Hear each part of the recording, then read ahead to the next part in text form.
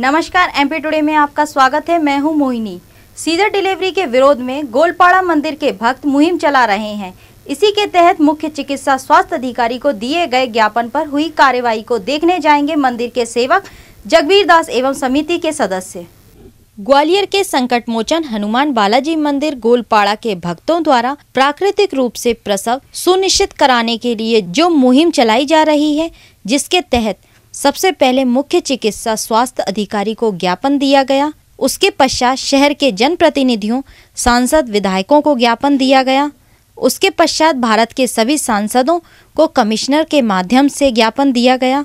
भक्तों द्वारा फूलबाग गेट पर धरना भी दिया गया और कृषि मंत्री नरेंद्र सिंह तोमर को ज्ञापन दिया गया। कोरोना महामारी की दूसरी लहर के कारण भक्तगण शांत रहे। अब पुनः वह इस मुहिम को जारी रखेंगे।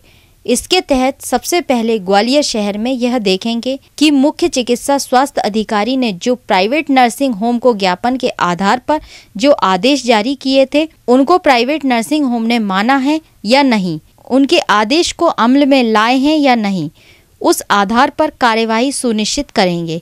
इसके लिए मंगलवार 15 जून को 12 बजे सेवक जगबीर दास के साथ भक्तगण मुख्य चिकित्सा स्वास्थ्य अधिकारी के कार्यालय मोती महल पर पहुँचेंगे।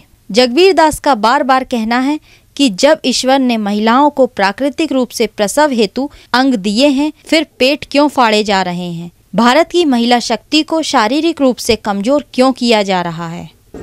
इस मंदिर के दर्शनार्थी और भक्तगण, आए दिन यहाँ मुझे अवगत कराते हैं कि हम सामान्य प्रसव से प्राकृतिक रूप से, प्राकृतिक अंगों से पैदा हुए और हमारे बच्चे पेट फाड़ के पैदा हो रहे हैं।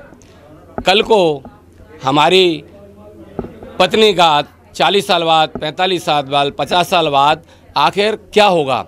जब वो किसी बीमारी से ग्रसित होंगी, तब उनके ये टाँके, उनका ये पेट किस तरह उन्हें परेशान करेगा और उन वो अल्प आयु में आ जाएँगे। तो जब मैंने इस ओर ध्यान दिया तो लगा कि यह मानव हित के लिए, जनहित के लिए और प्रकृति अवरुद्ध हो रही है। इसको जिम्मेदार लोगों तक पहुँचाने के लिए सबसे पहले मैंने ग्वालियर के मुख्य चिकित्सा अधिकारी, स्वास्थ्य अधिकारी को ज्ञापन दिया और उनसे कहा कि आप शहर में देखिए किस तरह सीजर डिलीवरी हो रही हैं।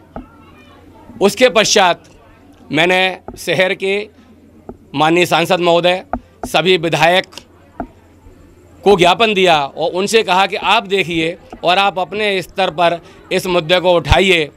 यह प्रकृति के साथ तो खिलवाड़ हो ही रहा है, बाकी देश की, राष्ट्र की महिलाओं के साथ भी खिलवाड़ हो रहा है। उसके पश्चात मैंने फूलबाग पर भक्तों के साथ धरना दिया। धरने के साथ ही समापन पर केंद्रीय कृषि मंत्री माननीय नरेंद्र सिंह तोमर जी को ज्ञापन दिया। उसके पश्चात मैंने 543 सांसदों के नाम माननीय कमिश्नर महोदय को ज्ञापन दिया और सभी ने मुझसे यह कहा कि यह वास्तव में सही है।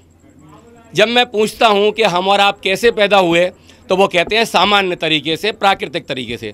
फिर मैं पूछता हूँ, आपके बच्चे और आपके नाती कैसे पैदा हो रहे हैं? तो वो एकदम चौंक जाते हैं, कहते हैं हाँ निश्चित रूप से वो सीजर डिलीवरी से हो रहे हैं। तो मेरा अब कहना है कि सारे ज्ञापन देने के पश्चात हम ग्वालियर में पंद्रह तारीख को सीएमएचओ साहब से पुनः मिलेंगे और उन्होंने क्या कार्रवाई की है, उसको फिजिकली भक्तगण मंदिर के जाके देखना चाहेंगे। और पंद्रह तारीख को हम इस विषय पर विस्तृत कार्यक्रम घोषित करेंगे। भक्तों के साथ दर्शनार्थियों के साथ बैठक करके। जय बालाजी।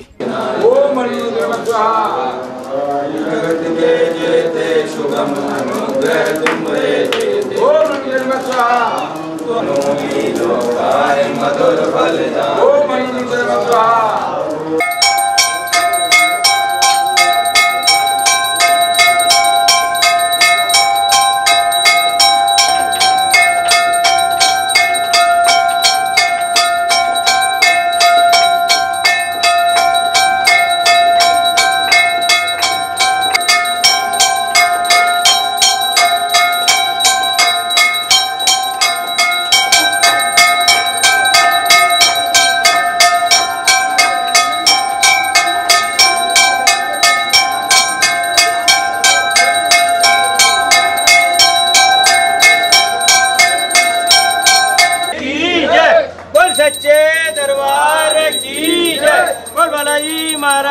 जगदा मैया की जय बाबा की जय सच्चे दरबार की जय बालाजी महाराज की जय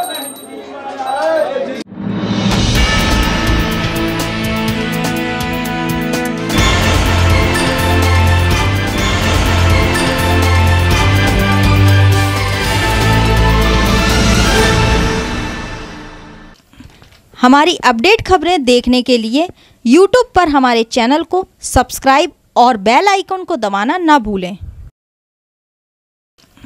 हमारी अपडेट खबरें देखने के लिए यूट्यूब पर हमारे चैनल को सब्सक्राइब और बेल आइकन को दबाना ना भूलें।